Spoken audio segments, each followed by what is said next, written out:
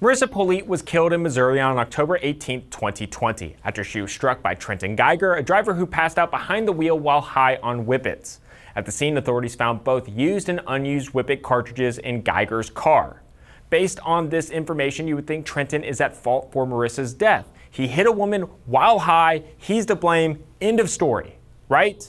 Well, that's not the case. In the wrongful death lawsuit filed by Marissa's estate, two other defendants were sued. The Coffin Cardinal, the smoke shop that sold Trenton Geiger the whippets, and United Brands, Coffin Cardinal's whippet supplier.